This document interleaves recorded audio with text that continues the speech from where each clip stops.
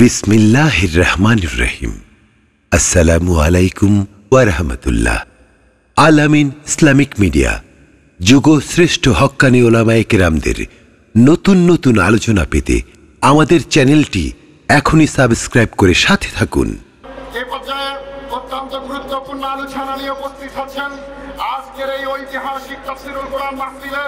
আমন্ত্রিত মেহমান।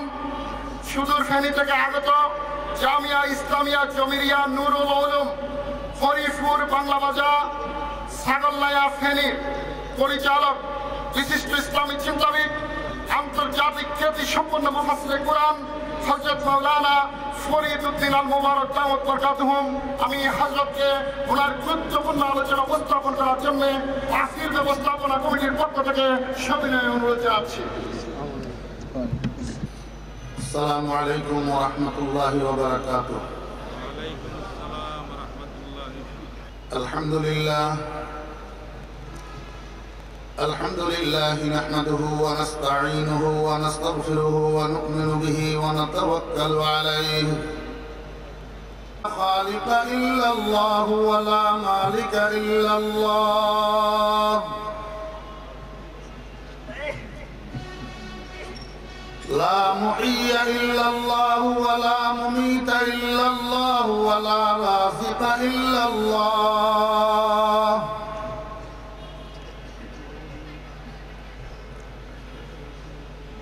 ونشهد أن أفضلنا وأكملنا وأجملنا وسيدنا وسندنا وحبيبنا ومولانا محمدا عبده ورسوله. الذي علمه الله فأحسن تعليمه وأدبه الله فأحسن تأديبا. ثم بعثه الله إلى كافة الناس معلما. اللهم فصل وسلم عليه وعلى آله وأصحابه وأزواجه وذرياته وأهل بيته. وعلماء أمته وفقهاء ملته ونجباء طريقته أجمعين. أما بعد فأعوذ بالله من الشيطان الرجيم.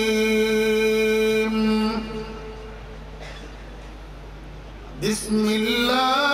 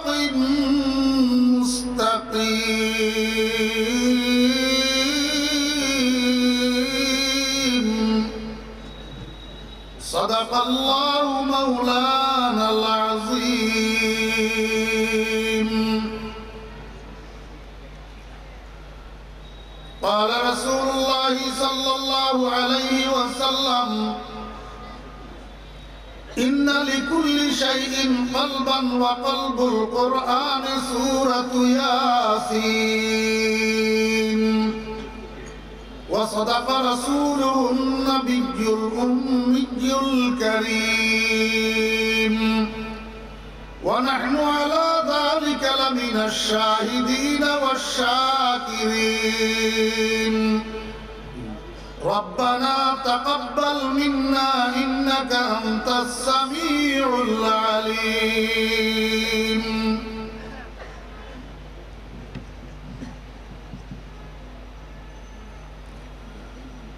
آستی بر كشيدي هم ہم چمکارا آستی برب و کشیدی همچو مکه آمدی با خودی خود در تماشا سوئے بازار آمدی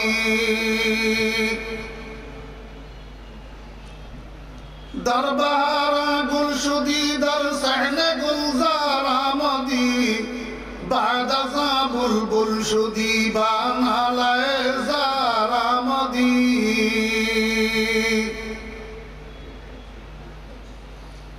শোরে মনসুর আজ কুজা ও দারে মনসুর আজ কুজা খুদ যদি বাঙ্গে আনাল হক বরসরে দারামদি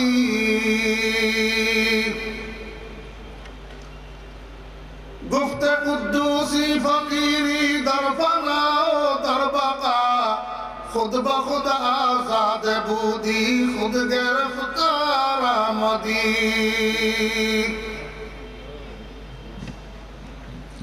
মহতরমুল মোকাম। হজরত সদর জলসা ওয়াজিবুল এহতরাম, গ্রামী কদর হজরত ওলামাই কেরাম,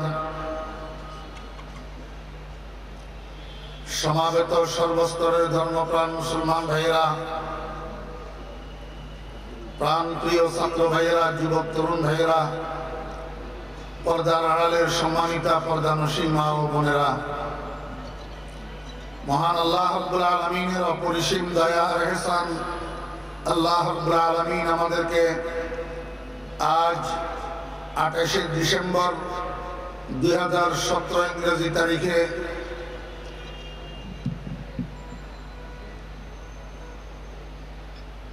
আলামিন সংস্থা হাটাজারি কর্তৃক আয়োজিত হাটাজারি কলেজ মাঠে অনুষ্ঠিতব্য তিন দিন ব্যাপী এই আজিম শান তফসিরুল কোরআন মাহফিলের আজ মধ্যবর্তী দিবসে আমাদেরকে অংশগ্রহণ করার তৌফিক দিয়েছেন। এই জন্য আমরা সবাই মহান রব্বুল আলমিনের শুকর আদায় করি, আলহামদুলিল্লাহ। আমাকে কর্তৃপক্ষের পক্ষ থেকে আদেশ করা হয়েছে সুরাই ইয়াসিনের শুরু থেকে ধারাবাহিকভাবে আলোচনা করার জন্য। হুকুম পালনার্থে আমি খোদ্া এবং দরুদ শরীফের পর আপনাদের সামনে আল্লাহ পাকের পবিত্র কালামের হৃদয় সুরাই ইয়াসিনের শুরু থেকে কিছু অংশ তিলাবাত করেছি। এবং সেই সাথে আমাদের সকলের প্রিয় নবী রহমত আলম, শফিয়া আজম, রসুল আকরম, জনাবে মাহমুদুর রসুল্লাহ সাল্লাহ আলী ওসাল্লামের ছোট্ট একখানা হাদিস শরীফ আপনাদের সামনে পাঠ করেছি। আপনারা বুঝতেই পারতেছেন, যেহেতু আলামিন সংস্থার মাহফিল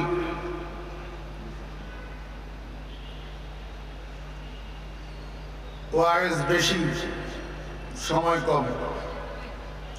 সেহেতু কোনো প্রকারের অপ্রাসঙ্গিকতার দিকে না গিয়ে আমি সরাসরি মূল আলোচনায় উপনীত হইতেছি, ওমা তৌফিক ইল্লা বিল্লাহ। সুরাই ইয়াসিন মক্কা শরীফে অবতীর্ণ। তিরাশি আয়াত বিশিষ্ট একটা সুরা। যেই সুরা সম্পর্কে আমাদের প্রিয় নবী হজরত মোহাম্মদ মুস্তফা সাল্লাহ আলহি ওসাল্লাম ইরশাদ করেছেন, প্রত্যেক বস্তুর একটা মুখ্য অংশ থাকে। প্রত্যেক বস্তুর একটা হেডকোয়ার্টার থাকে। প্রত্যেক দেশের একটা রাজধানী থাকে, একটা গুরুত্বপূর্ণ অংশ থাকে, গুরুত্বপূর্ণ জায়গা থাকে।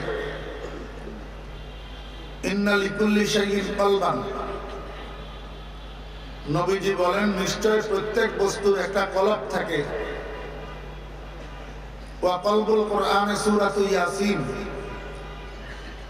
আর কোরআন শরীফের কলব, কোরআন শরীফের হাট কোরআন শরীফের রাজধানী হলো সুরা ইয়াসিন। কোরআনে কারিমের একশত চোদ্দ সুরার মধ্যে অত্যন্ত গুরুত্বপূর্ণ একটা সুরা। যেই সুরা সম্পর্কে হুজুরে পাক সাল্লাল্লাহু আলাইহি ওয়াসাল্লাম ইরশাদ করেছেন, মান কারা সূরাতা ইয়াসিন কুতিবাত লাহু কিরাআতুল কুরআন 10 মাররাত আও কামা ক্বালা নবী আলাইহিস সালাতু ওয়াসসালাম। এই হাদিসটা অন্য আলফাজেও আছে। সব রেওয়ায়াতগুলার খোলাসা অর্থ হলো, হুজুরে পাক করেন, যে ব্যক্তি সূরা ইয়াসিন একবার তেলাওয়াত করে আল্লাহ তার আমল নামার মধ্যে গোটা কোরআন শরীফ 10 বার খতম করার সওয়াব দান করেন। আজকে আমি চুনি বাজারে রাত। আজকে আমি চুনি বাজারে রাত। কে বয়ক গুলমি খরি গুলজারে কবি বলেন এত সস্তা সদাইয়ের বাজার তুমি কোথায় পেতা যে বাজারে একটা ফুল দিয়ে একটা বাগান খরিদ করা যায়। সুরাই ইয়াসিনটা তাজবিদের সাথে হদর তেলাওয়াত করলে ছয় থেকে সাত মিনিট সময় লাগে।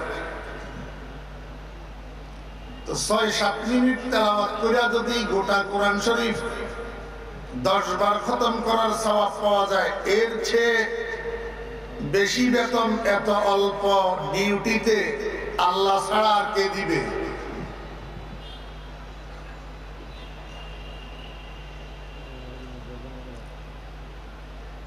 দুঃখের সাথে বলতে হয় যে আজকে আমরা মুসলমানদের সন্তানরা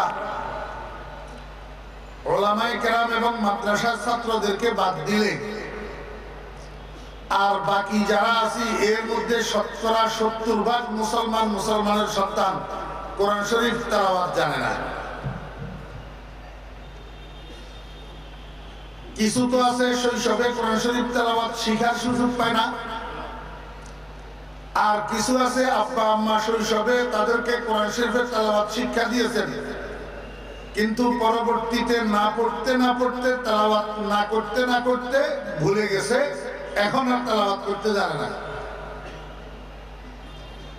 আর কিছু আছে তেলাওয়াত জানে, কিন্তু ছয় মাসে বৎসরে, দুই বৎসরে, ছয় বৎসরে একবার কোরআন শরীফটা উল্টাইয়া দেখে না। অথচ হুজুরে পাক সাল্লাল্লাহু আলাইহি ওয়াসাল্লাম ইরশাদ করতেছেন একবার সূরা ইয়াসিন তেলাওয়াত করলে 10 খতম কোরআন শরীফের সওয়াব। আমার ভাইরা দোস্ত, আমার সর্বসাধারণ মুসলমান ভাইরা যারা বসা আছি প্যান্ডেলের মধ্যে, আমরা কি এই কথাটা বিশ্বাস করি? সবাইকে এটা বিশ্বাস করতে হবে না? কারণ কার কথা? মোহাম্মদুর রসুল্লাহ সাল্লাহ আলী ওসাল্লামের কথা। এত বড় সত্যবাদী পৃথিবীর সূচনা লগ্ন থেকে আদম আল ইসলামের সৃষ্টির থেকে কেয়ামত পর্যন্ত এত বড় সত্যবাদী পৃথিবীতে কি আর আসছেন না আসবেন?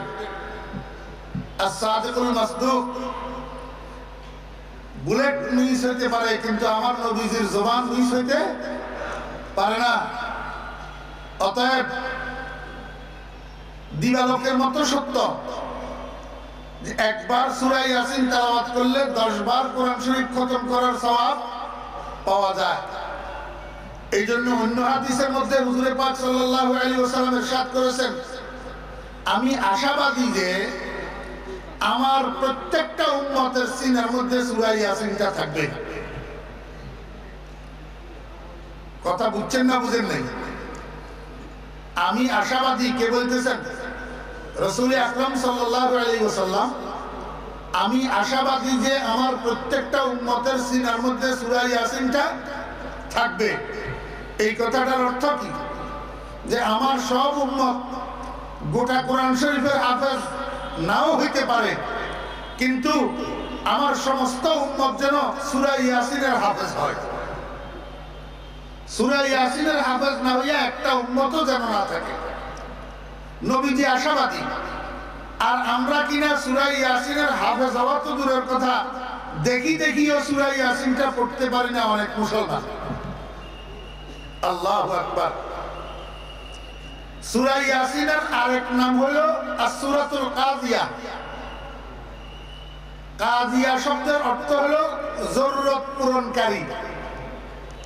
রসুল আকরম সাল্লাল্লাহু আলাইহি ওয়াসাল্লাম করেছেন যদি আমার কোন উম্মত দিনের শুরুতে সদরান দিনের শুরুতে সুরা ইয়াসিনটা তেলাওয়াত করে, তো আগামী চব্বিশ ঘণ্টার মধ্যে তার যত প্রয়োজন, এই সমস্ত প্রয়োজনগুলা সুরা ইয়াসিনের উসিরায় আল্লাহ তাআলা পূরণ করিয়া দিবেন। আজকে আমরা ছোট্ট ছোট্ট প্রয়োজনের জন্য ছোট্ট ছোট্ট জরুরতের জন্য মানুষের দরজায় দরজায় ঠোকর খাই। অথচ ফজরের নামাজের সময় উঠি না, আর ফজরের নামাজের পরে সুরা ইয়াসিনটা তেলাওয়াত করিয়া নিজের জীবনের জরুরতগুলা মিটানোর কথা আমরা চিন্তা করি না। রসুল যে ব্যক্তি রাত্রে করে শুইবে করে ঘুমাবে মান কারা সূরাত ইয়াসিন লাইলাতান। কানা মাগফুরাল লাহু যে ব্যক্তি রাত্রে শোয়ার আগে সূরা ইয়াসিনটা তেলাওয়াত করে শুবে, তো সকাল বেলায় ঘুম থেকে উঠার সময় ওয়াফি রেওয়ায়াতিন আসবাহা মাগফুর আল্লাহ। সকাল বেলায় ঘুম থেকে উঠবে এমন অবস্থায় যে তার কাছে কোনো গুণা নাই। তার কাছে কোনো গুণা নাই। আল্লাহ পাক রাত্রের মধ্যে তার সমস্ত গুণাগুলোকে মিটাইয়া আমল নামাটাকে গুণার থেকে পরিষ্কার করিয়া দিবে কত সুসংবাদ। আমার বেয়েরা আরও সুসংবাদ আছে। আমাকে একটু আপনারা বলুন, পৃথিবীতে এমন কোন রোগ আছে কি যেটা সার্বজনীন? একটা রোগও সার্বজনীন নেই। ব্লাড প্রেশার সকলের হয় না, কারও হয়, কারও নেই। ডায়াবেটিস সকলের হয় না, কারও আছে, কারও নাই। ব্লাড ক্যান্সার সকলের হয় না, কারও আছে, কারও নাই। কিন্তু একটা রোগ আছে যেই রোগটা সার্বজনীন, এই রোগের সাথে সাক্ষাৎ না করিয়া বাঁচার কারও উপায় নাই। সেই রোগটার নাম হলো সাকরাতুল মাউত। মৌতের সাকরাত মৃত্যু যন্ত্রণা। আমার বেরা দুস্তাবাব এই মৃত্যু যন্ত্রণার রোগে আক্রান্ত হবে না, এমন কোন মানুষ পৃথিবীতে নাই। কিন্তু হুজুরে পাক সাল্লাল্লাহু আলাইহি ওয়াসাল্লাম ইরশাদ করেন, আমার উম্মতগণ, যেই রোগ সার্বজনীন রোগ, সবাই এই রোগে আক্রান্ত হতে হবে। অথচ এই রোগের কোনো ঔষধ, কোনো মেডিসিন কোনো ট্রিটমেন্ট এই পর্যন্ত আধুনিক স্বাস্থ্য বিজ্ঞান আবিষ্কার করতে পারে নাই। এখনও পর্যন্ত মৃত্যু যন্ত্রণা পরিপূর্ণভাবে লাঘব হবে, অথবা আংশিক নিরাময় হবে, আংশিক হালকা হবে। এমন কোন ট্যাবলেট, এমন কোন ক্যাপসুল, এমন কোন ইনজেকশন, এমন কোন স্যালাইন আজকে পর্যন্ত আধুনিক শিক্ষা শিক্ষা বিজ্ঞান আবিষ্কার করতে পারে নাই। মোহাম্মদুর রসুল্লাহ সাল্লাহ সাত করেন, হে দুনিয়ার মানুষ আধুনিক শিক্ষা বিজ্ঞানের কাছে যেই ঔষধ নাই সেই ঔষধ আমি মোহাম্মদুর রসুল্লাহ সাল্লাহ আলী ওসাল্লামের কাছে আছে কি ঔষধ সেটা قال رسول الله صلى الله عليه وسلم ما من ميت إلا قرئت عليه سورة ياسين إلا هون الله عليه وفي رواية ما من ميت قرئت عليه سورة ياسين إلا هون الله عليه أو كما قال النبي عليه الصلاة والسلام وقال النبي صلى الله عليه وسلم إذا قرئت سورة ياسين على موتاكم يسر الله عليه أو كما قال النبي عليه الصلاة والسلام وفي رواية قال النبي صلى الله عليه وسلم اقرأوا على موتاكم سورة ياسين আল্লাহ হাবিব জানাব রাসূলুল্লাহ সাল্লাল্লাহু আলাইহি ওয়াসাল্লাম বলেন, হে দুনিয়ার মানুষেরা, তোমার আব্বার তোমার আম্মার তোমার ভাইয়ের, তোমার স্ত্রীর আল্লাহু আকবার, তোমার প্রতিবেশী আত্মীয় স্বজনের, তোমার বন্ধু বান্ধবের চেহারার উপরে যখন মৃত্যুর নিদর্শন দেখতে পাবে, মৃত্যুর লক্ষণ বেশি উঠবে। আল্লাহ আকবর, মুসলমান ভাইয়েরা, মৃত্যুর লক্ষণ কি? মৃত্যুর লক্ষণ যেই মানুষটার নাকের আগা স্টিল দণ্ডয়মান থাকবে না, একদিকে বাঁকা হইয়া যাবে, কানের লতিগুলা নিচের দিকে ঝুলিয়া পড়বে, সব সময়ের মতো সোজা থাকবে না। যেই মানুষটার কপালের মধ্যে হালকা গাম দেখা দিবে, গলার থেকে গড় গড় গড় গড় শব্দ বাইর হবে। মুখের মধ্যে চামচ দিয়া পানি দিলে পানিগুলো ভিতরের দিকে না যাইয়া বাহিরের দিকে গড়াইয়া পড়বে, হাত পাও এদিক সেদিক মারা শুরু করবে। কিসের উপরে পড়তেছে? ব্যথা পাইতেছে কিনা সেটার খবর থাকবে না। আল্লাহর হাবিব জনাব মোহাম্মদ রসুল্লাহ আলাইহি বলেন, মনে করো, মানুষটা সাকরাতে আক্রান্ত, মৃত্যু সাকরাতে আক্রান্ত। এই সময়ের মধ্যে তুমি অজু করো, তুমি সন্তান, অজু করি কোরআন শরীফটা নিয়া তোমার বাবার মাথার পাশে যাইয়া বসো। তোমার মায়ের মাথার পাশে যাইয়া বসো কোরআন শরীফটা খুলি সূরা ইয়াসিন তেলাওয়াত করা শুরু করো আউযু বিল্লাহি মিনাশ শাইতানির রাজিম বিসমিল্লাহির রহমানির রহিম ইয়াসিন ওয়াল কোরআনিল হাকিম إنك لمن المرسلين على صراط مستقيم আল্লাহ হাবিব জনাব রাসূলুল্লাহ সাল্লাল্লাহু আলাইহি ওয়াসাল্লাম বলেন আমার উম্মতেরা যখন তুমি তোমার আব্বার মাথার পাশে সূরা ইয়াসিন তেলাওয়াত করা শুরু করবে, তোমার আম্মার মাথার পাশে সূরা ইয়াসিন তেলাওয়াত করা শুরু করবে, তোমার আব্বা, তোমার আম্মার শরীরের থেকে রুহুটা কেমন ভাবে বাইর হবে তুমি জানো না। একটা দুধের শিশু মায়ের স্তনে দুধ পান করতে করতে যখন শিশুর চোখে ঘুম ঘুমাই সাজায় এই ঘুমন্ত শিশুর মুখের থেকে মায়ের স্তন ছুটে যায়, শিশুর খবর থাকে না। ওই সুরাইয়াসিন পড়ুয়া মানুষটার শরীরের থেকে এমন ভাবে রুহু বাইর হয়, তার খবর থাকে না। আল্লাহ আকবার। আমার ভাইয়েরা দোস্ত আবাব মৃত্যুর সাকরাত যে কত কঠিন, আমরা জানি না। মৃত্যুর সাকরাত হক কোরআন শরীফের দ্বারা সাব্যস্ত, দলিল কতরির দ্বারা সাব্যস্ত? রসুল আকরম সাল্লাল্লাহু আলাইহি ওয়াসাল্লাম ইরশাদ করেন দুনিয়ার মানুষেরা। একটা মানুষের শরীরের থেকে রুহু বাইর হতে কত কষ্ট, তোমরা জানো না?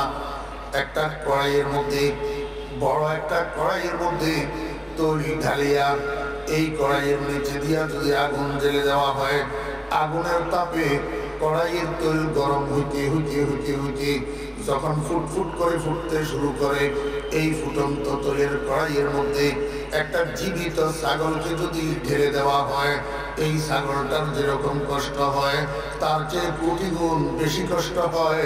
বেইমান বেদিন বদিনের শরীর থেকে রুহু বাইর হওয়ার সময়। আমার দোস্তারা, এই জন্য হুজুরে পাক সাল্লাল্লাহু আলাইহি ওয়াসাল্লামের সাথ করেছেন, এই কষ্ট থেকে হেফাজত হয়ে যাবে, এই কষ্ট থেকে রক্ষা পেয়ে যাবে। যখন সূরা ইয়াসিন তার মাথার মাথার পাশে পড়া হবে এমন ভাবে রূহ বাইর হবে, ওই দুধের শিশু ঘুমন্ত শিশুর মতো। শিশুর মুখের থেকে মায়ের স্তন বাইর হতে যেরকম তার খবর থাকে না। এমনি ভাবে ওই সুরা ইয়াসিন পড়ুয়া মানুষটার শরীরের থেকে রুহু বাইর হইতে তার খবর হবে না। আল্লাহ আকবার। ডিগ্রি পাস করাইছে ছেলেকে, মাস্টার্স করাইছে ছেলেকে, অনার্স করাইছে, এমবিএ করাইছে, বিবিএ করেছে উচ্চ শিক্ষিত বানাইয়াছে ছেলেকে আল্লাহ আকবার। আমার মেয়েরা, দোস্ত বাবেরা মধ্যরাত্রে যখন রাত্রে দুইটার সময় বাপের সাকরাত শুরু হয়েছে, বাপ যখন হাত পাও চতুর্দিকে মারামারি শুরু করছে, চক্ষু উল্টাইয়া ফেলছে, জিব্বা কামড় দিয়া ফেলছে গড়গড় গড়গড় যখন শুরু করছে, এই উচ্চ শিক্ষিত ছেলে ঘরের মধ্যে চিৎকার শুরু করছে, পাশে চাচার ঘর ছিল ও চাচা ও চাচা কইয়া চিৎকার শুরু করছে। চাচায় কয় কিরে বাকি যায় তোরা এরকম করতেছিস কেন? কয়, একটু তাড়াতাড়ি আমাদের ঘরে আসেন।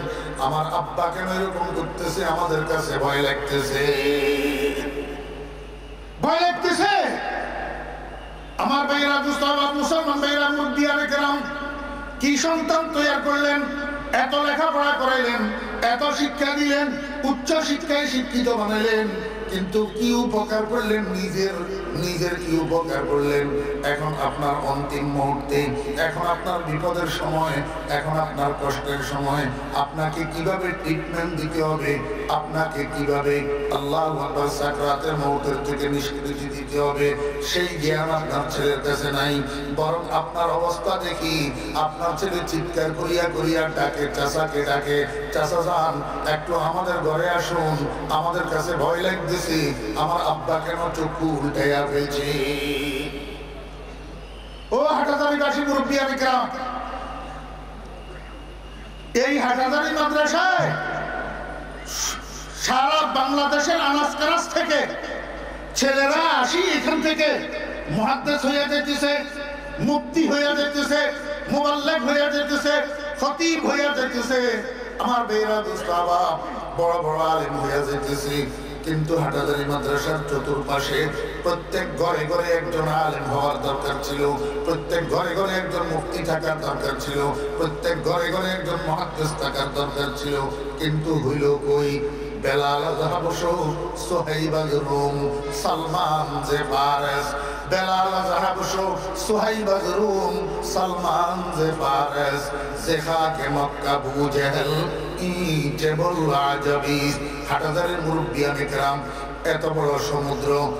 আপনার পাশে থাকার পরে আপনি যদি সেখান থেকে এক ডোক পানি পান করতে পারলেন না, অর্থাৎ আপনার একটা ছেলেকে বড় আলেম বানাইতে পারলেন না, আপনার একটা ছেলেকে আপনার জানাজার নামাজ পড়ানোর জন্য ইমাম বানাইতে পারলেন না, আপনার একটা ছেলেকে আপনার জীবনের শেষ গোসলদাতা বানাইতে পারলেন না, একটা ছেলেকে আপনার সাকরাতের সময় আপনার মাথার পাশে বসি সুরাই ইয়াসিন পড়নেওয়ালা বানাইতে পারলেন না, একটা ছেলেকে নামাজের পরে আপনার জন্য হাত উঠাইয়া হামহুমা কামা বানাইতে পারলেন না। একটা ছেলেকে আপনার মৃত্যুর পরে প্রতি শুক্রবারে আপনার কবরের পাশে যাইয়া, আসসালামু আলাইকা ইয়া কুবুর, ইয়াগফিরুল্লাহু লানা ওয়া লাকুম ওয়া আনতুম সালাফুনা ওয়া নাহনু বিল আসর কবরের জিয়ারতের দোয়াটা পড়ি, কবর জিয়ারত করনেওয়ালা বানাইতে পারলেন না। এত বড় সমুদ্র আপনার পাশে থাকি আমাকে বুঝে থাকলে বলুন, আপনার মতো হতভাগা পড়া কপাল এই দুনিয়াতে আর কে আছে বলুন? আল্লাহ আকবার।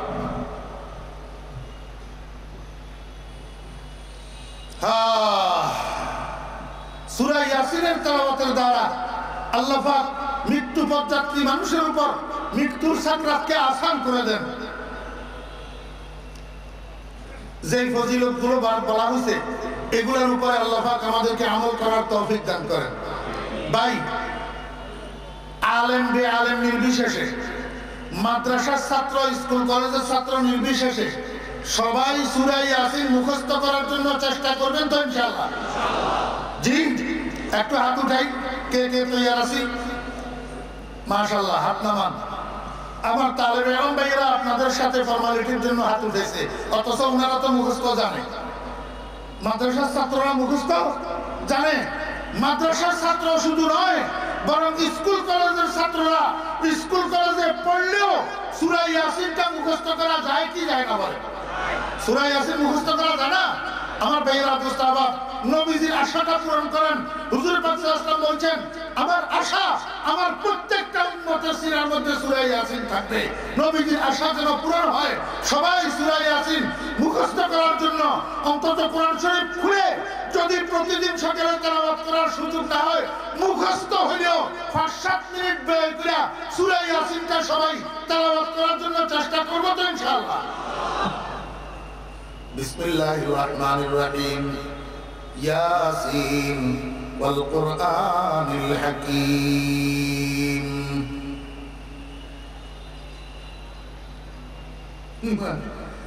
ইয়ো এক্সটেজের গড়ি এটা বন্ধ নাকি?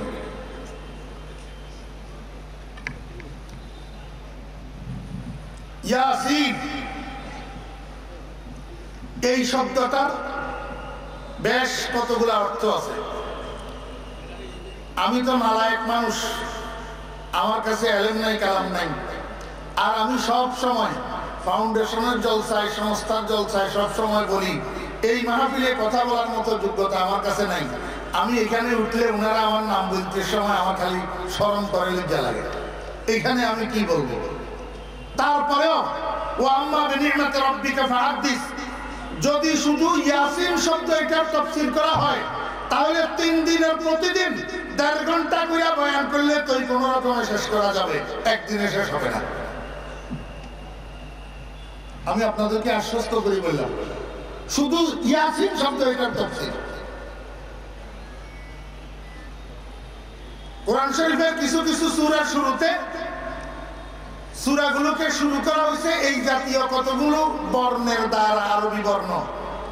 এগুলাকে তাফসিরের পরিভাষায় হরুফে মোকাত্তাআত বলা হয়। হরুফে মুকাত্তাআতের বিপরীত শব্দ হলো হরুফে মুরাক্কাবাত। হরুফে মুরাক্কাবাত অর্থাৎ একটা বর্ণের সাথে আরেকটা বর্ণ সংযুক্ত কইয়া উচ্চারণ করা। আর কতগুলো হলো? একটা বর্ণ থেকে আরেকটা বর্ণকে বিচ্ছেদ অবস্থায় তেলাওয়াত করা, উচ্চারণ করা। এগুলা হলো হরুফে মোকাত্তারাত দেখেন, আমি আপনাদেরকে বুঝাই।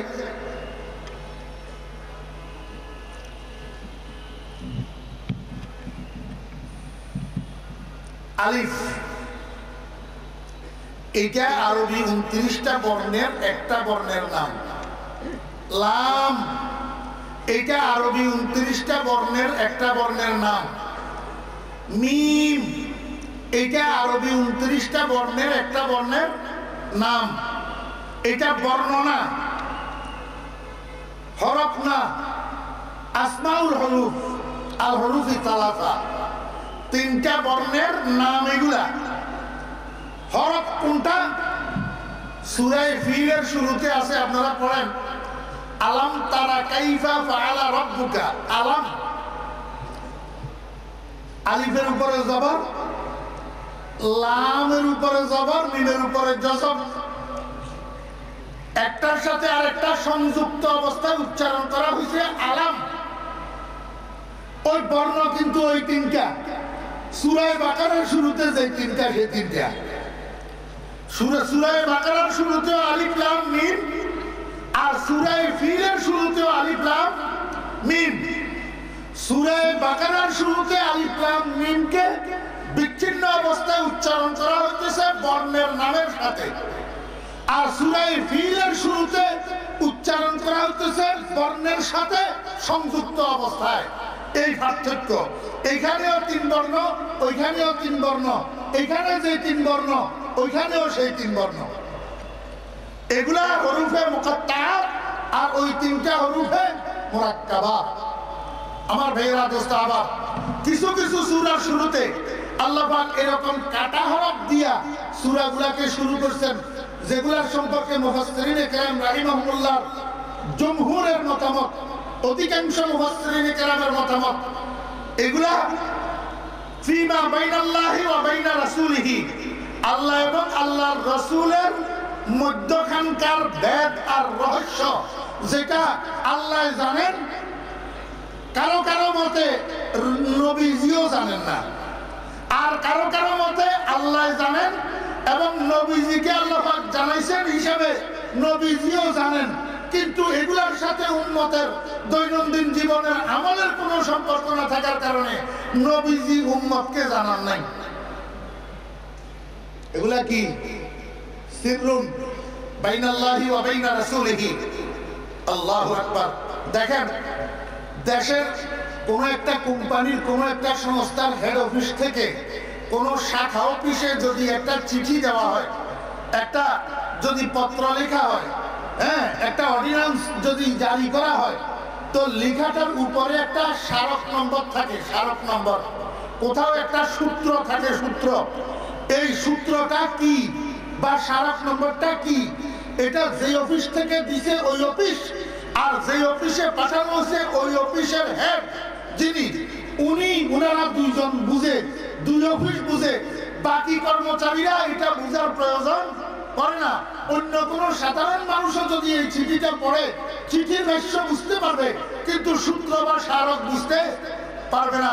ঠিক কোরআনে কারিমের মধ্যে এই হরুফে মোকাত্তাতগুলা আল্লাহ এবং আল্লাহ নবীর মধ্যকার সূত্র, যেটা আল্লাহ জানে এবং আল্লাহ রসুল জানে, সর্বসাধারণ মুসলমান নবীজির উন্মতে জানার প্রয়োজন করে না। তবে হ্যাঁ কিছু কিছু হরুফে মোকাত্তাত সম্পর্কে নবীজি বিশেষ বিশেষ মজলিসের মধ্যে, এখন আমাদের বর্তমান যুগে যেরকম মানুষ কিছু শিক্ষিত, কিছু অশিক্ষিত আছে না নাই? জি? কিছু শিক্ষিত মানুষ আছে না? কিছু অশিক্ষিত মানুষ আছে না?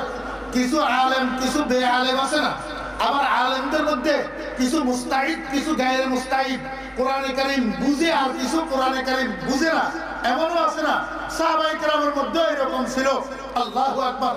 সাহাবাই কেরামের মধ্যে হযরত উলামায়ে কেরাম যিনারা ছিলেন, উনাদের বিশেষ বৈঠকে হুজুরে পাক সাল্লাল্লাহু আলাইহি ওয়াসাল্লাম এই হরফে মুকাত্তাআতগুলো, যেগুলো ফি আওয়াইলি সুয়ার, আল্লাহ পাক রব্বুল আলামিন বর্ণনা করছেন, এগুলা সম্পর্কে কিছু কিছু তরজমা, কিছু কিছু মুরাদ হুজুরে পাক সাল্লাল্লাহু আলাইহি ওয়াসাল্লাম বয়ান করছেন। আমার বেরা দোস্ত আবাব তাহলে ইয়াসিন শব্দ এটার প্রথম তাফসীর কি হলো? আল্লাহু আ'লামু বিমুরাদিহি বিহি। আল্লাহু আ'লামু বিমুরাদিহি বিহি। জমহুরে মুফাসসিরিন ইকরাম তাফসীর এটা। যে এই ইয়াসিনটা কি? এটা সম্পর্কে এটা দ্বারা আল্লাহ পাকের উদ্দেশ্য কি? আল্লাহই সবচেয়ে ভালো জানেন। আল্লাহই সবচেয়ে ভালো জানেন। ভাই, একটা কেনায়াতুন নস আছে। আল্লাহু আলিমুন বেমুরাদিহি বিহি বলেন নাই। আল্লাহু আলিমুন বেমুরাদিহি বিহি বলেন নাই। আলামু ইসমে তফজিল বয়ান করছেন। তাহলে বোঝা যায়, বলছেন আল্লাহ পাক বেশি জানেন। তাহলে কম জানেন যে এরকম কেউ আছে। উনি কে? মোহাম্মদুর রসুল্লাহ সাল্লাল্লাহু আলাইহি ওয়াসাল্লাম। তাহলে বোঝা যায় যে এই এই শব্দগুলোর দ্বারা আল্লাহ পাকের উদ্দেশ্য সম্পর্কে আল্লাহ পাকই সবচেয়ে বেশি জানেন এবং আল্লাহ পাকের জানানোর দ্বারা আল্লাহ রসুল মোহাম্মদুর রসুল্লাহ সাল্লাল্লাহু আলাইহি ওয়াসাল্লামও জানেন। তাহলে বোঝা গেল মোহাম্মদ রসুল্লাহ সাল্লাহ ইসলাম যখন জানেন মোহাম্মদ রসুল্লাহ সাল্লাহ ইসলাম উনার বিশেষ বিশেষ সাহাবিদের মজলিসে এটার মুরাদ কি সেটা বয়ানও করছেন। সেই হিসাবে হযরত সাহাবায়ে কেরাম রিজওয়ানুল্লাহি তাআলা আলাইহিম ইয়াসিন শব্দের অর্থ কি? হাদিসের মধ্যে বয়ান করছেন।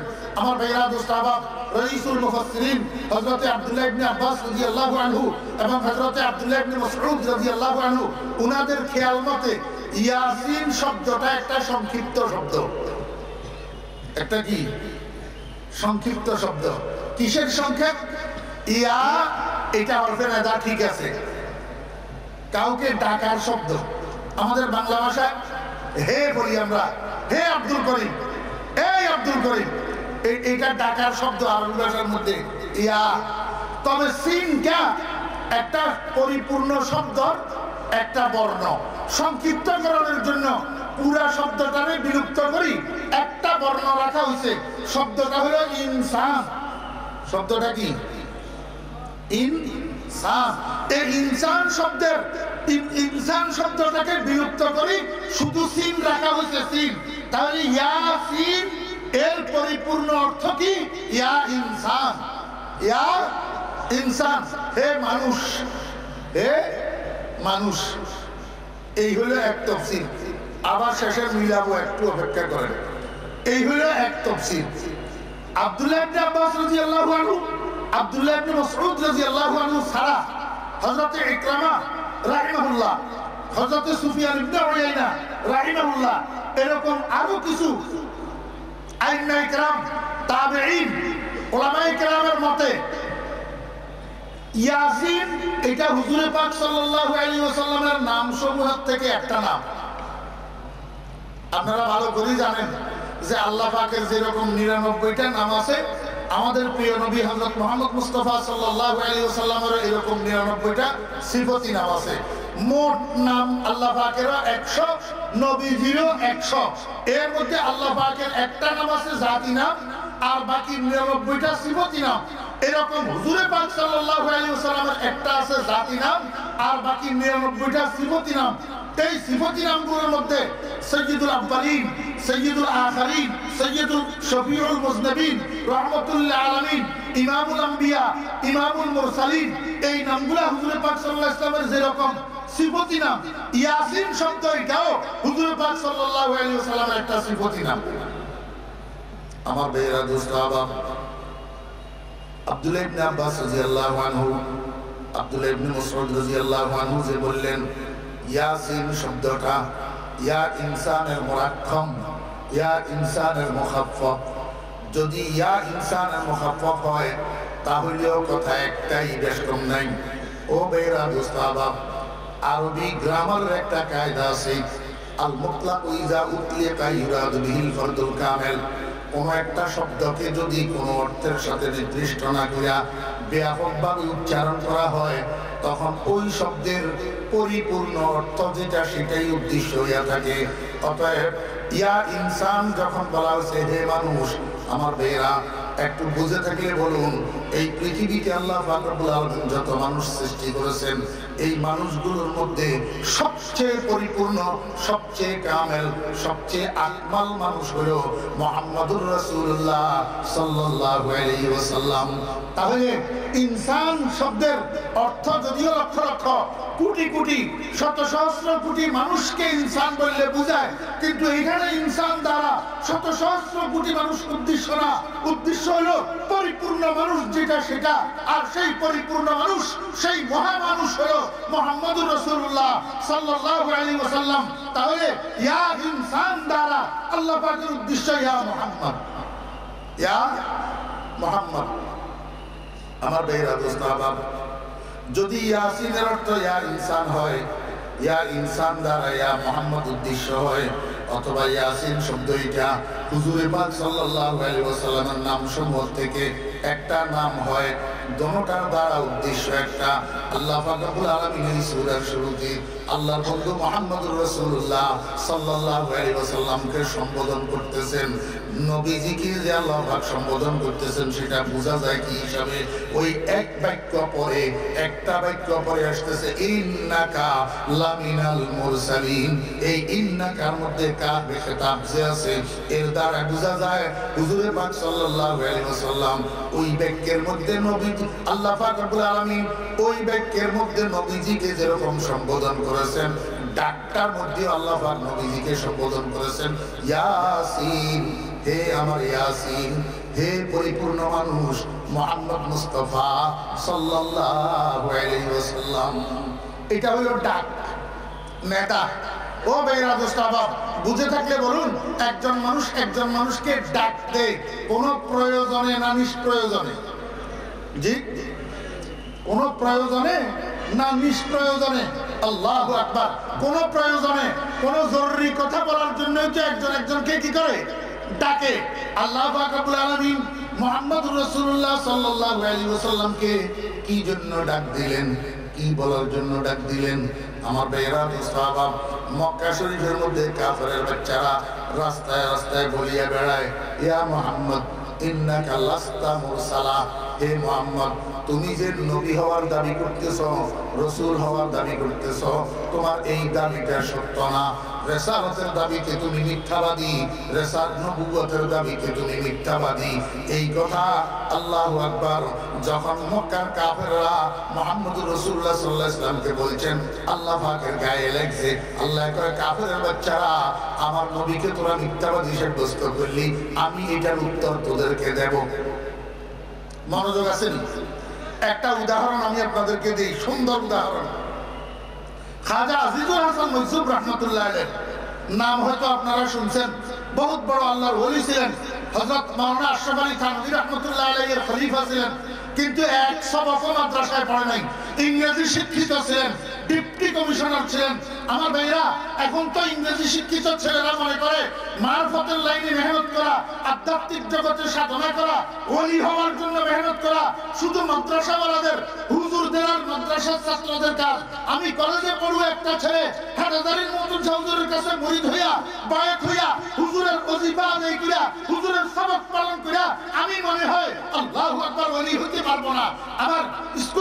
ছাত্র ভাইরা মনে করে, ও ছাত্র ভাইরা যদি তাই হতো, খাজা মাদ্রাসায় পড়েন নাই, ইংরেজি শিক্ষিত ছিলেন, উনি কীভাবে আশরাফ আলী থানবী রহমতুল্লাহ আলাই খলিফা হলেন? মনোযোগ আসেনি? হাসান সকালবেলায় পড়ি রাস্তার পাশ হাঁটতেছেন। রাস্তার পাশ দিয়া হুজুর যেদিকে সেদিক থেকে একটা যুবক যুবক ছেলে প্রেমিক, প্রেমিকা। আমার বেহরা দোস্তাবাব যখন এই যুবক, যুবতী মজুব সাহ রহমতুল্লাহ থেকে সাত কদম দূরে এমত অবস্থায় সামনে পড়ছে কতগুলা কাদা। খাজা আজিজুল হাসান রহমতুল্লাহ বুড়া মানুষ। কাদার মধ্যে পাও পড়ছে, পাও পিছলাইয়া হুজুর পড়ে গেছেন। পাও যে পিছলাইছে, পাও সামনের দিকে গেছে। সামনের দিকে পাও পিছলানোর কারণে ওই কাদা একটু ছটকিয়া যাইয়া প্রেমিকা যেটা মেয়ে, যুবতী মেয়ে এটার মুখের মধ্যে কাদা পড়ছে। যখন মুখের মধ্যে প্রেমিকার কাদা পড়ছে, যুবক ছেলেটার রাগ আর সামলাইতে পারে নাই। দুই কদম অগ্রসর হইয়া খাজা আজিজুল হাসান মুজিব রহমতুল্লাহ গালের মধ্যে ঠাস করে একটা থাপ্পড় লাগাইয়া দিছে কি লাগাইছে? আমার কথা কয় না। কি লাগাইছে? তারপর চতুর্দিক থেকে কিন্তু মানুষ তাকাইয়া আছে। ছেলে যদিও চিনে না, কিন্তু মানুষ খাজা আজিজুল হাসান মজুব রহমতুল্লাহ আলাইকে চিনে। মনে মনে সবাই বলতেছে, হাই, কি করল? পোলাটাই কি করল এটা? আমার ভাই রাজুসাবাব খাজা সাহেব রহমতুল্লাহ আলাই বসার থেকে উঠে আমার সামনের দিকে হাঁটা শুরু করছে। এই প্রেমিক যুগল সামনের দিকে হাঁটা শুরু করছে। দশ কদম যাইয়া সারে নাই। শুকনার মধ্যে একটা পাও পিছলা খাইয়া ছেলেটা আষাঢ় খেয়েছে আষাঢ় খেয়েছে যে পাও বাঁকা হইয়া আষাঢ় খেয়েছে আল্লাহ আকবার। মায়ের ফ্যান্ডেলের মধ্যে হাঁটুর নিচের হাড্ডিটা ভাঙ্গিয়া দুই টুকরা হয়ে গেছে। ও মা, ও আব্বা, যখন চিৎকার শুরু করছে চতুর্দিক থেকে মানুষ দৌড়াই এসছে, কয়, কি হয়েছে কয়, আমি এই শুকনার মধ্যে কেন আষাঢ় খেলাম? আমার পাওটা তো ভাঙ্গি গেছে। পাবলিক কয়, বেটা, তুই বড় বেয়াদম তুই জানিস কার মুখে চটকানা দিস? এখনও তাড়াতাড়ি যে হুজুরের কাছে মাপ চা, নতুবা জীবন তোকে হারাইতে হবে। কয়, কেমনে যাব? আমার তো পাও ভাঙছে, আমি তো এখন দাঁড়াইতে পারি না। মানুষ কোলা করিয়া ছেলেটাকে খাজা হাসান হুজুর রহমতুল্লাহ সামনে নিয়ে গেছে দৌড়াইয়া। যাইয়া কর হুজুর ছেলেটাকে মাফ করে দেন। ছেলেও হুজুরকে কর হুজুর। আমি বুঝতে পারি নাই দয়া করে আমাকে মাফ করে দেন। খাজা আজিজুল হাসান হুজুর রহমতুল্লাহ কয়, বাবা আমার কাছে মাফ করার কিছু নাই। তোমার তুমি যাকে ভালোবাসো মনোযোগ আছেন? মনোযোগ আছেন? তুমি যাকে ভালোবাসো তার গালে কাদা পড়ছে। আমার থেকে তুমি প্রতিশোধ নিছ। আমাকে একজন ভালোবাসনেওয়ালা আসমানে আছে। আমার গালে যখন থাপ্পড় পড়ছে, তোমার থেকে প্রতিশোধ নিছে বুঝে নাই মনে হয়।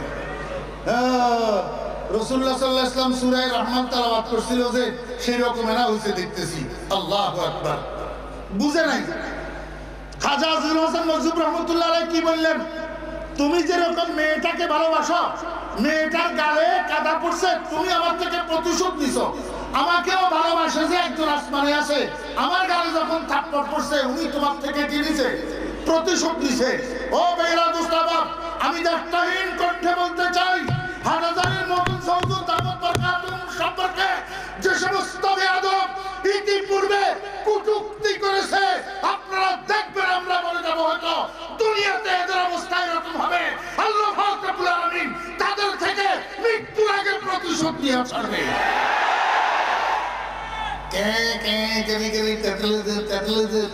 দেখবি বেটা মরার আগে हम नहीं डरते हम नहीं डरते हैं फासक फाजर व बदकार से हम नहीं डरते हैं फासक फाजर व बदकार से है ताल्लुक हमको सादत खालिद व सलमान से अहमद छवि की तू জানোস না তোর বাপ দাদা জানে না যারা চিনে তারা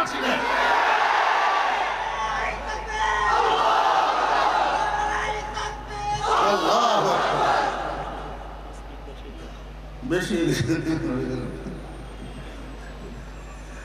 শেষ কথাটা বুঝাইতে পারছি খাজা সাহেব রহমতুল্লাহ গালে থাপ্পড় দিছে আল্লাহ কি নিছে প্রতিশোধ নিছে। মুহাম্মদ রাসূলুল্লাহ সাল্লাল্লাহু আলাইহি ওয়াসাল্লাম কয়, ইয়া মুহাম্মদ, ইন্নাকা লাস্তা আল্লাহ কয়, ইয়াসিন, আমার বন্ধু, আপনি পেরেশান হইয়েন না। এই এরা আল্লাহু আকবার চমকানোর মতো। এরা যদি সারা দিন বলে, আপনি রাসূল না, তাতে কিছু আসে আর জানা আমি আমার কোরআনে হাকিমের কসম করে বললাম, তার সাথে ডাবল তাকিদ। তার সাথে কি? ডাবল তাকিদ। ইন্না কা নিশ্চয় নিশ্চয়। লামিনাল মুরসালিন, আপনি আমার রসুলদের একজন, আপনি যে রসুল, এর মধ্যে কোনো সন্দেহ নাই। এরা সারা জীবন যদি বলে আপনি রসুল না, তাতে আপনার পেরেশানি হওয়ার কিছু না। শুধু একটা কথা বলি, শেষ। ওয়াল কোরআনুল হাকিম, আল্লাহ পাক কোরআনে হাকিমের কসম করলেন। কিও ভাই, কোরআন শরীফের মধ্যে আল্লাহ পাক আরও অনেক কিছুর কসম করছেন না? জি? চাঁদের কসম করছেন, সূর্যের কসম করছেন, ওই তুর পাহাড়ের কসম করছেন, কত কিছুর কসম করছেন। কিন্তু রসুলের রেসালত সাবেত করার ব্যাপারে যখন আসছে, তখন আল্লাহ পাক অন্য কিছুর কসম না করি কোরআনের কসম করে কেন? আল্লাহ পাক দুনিয়ার মুসলমানদেরকে বুঝাইতে চায়, হে দুনিয়ার মুসলমানরা, তুই নিজেকে মুসলমান দাবি করবি, আমার রসুলের উন্মত দাবি করবি, আর কোরআন মানবি না। এটা কোনোদিন হতে পারে না। খামিরের মধ্যে আটার সাথে পানি যেরকম যুক্ত, আমার রসুলের সাথে কোরআন এরকম যুক্ত কোরআন থেকে রসুলকে পৃথক করে দেখার সুযোগ নাই রসুল থেকে কোরআনকে পৃথক করে দেখার সুযোগ নাই واخر دعوانا ان الحمد لله رب العالمين السلام عليكم ورحمه الله وبركاته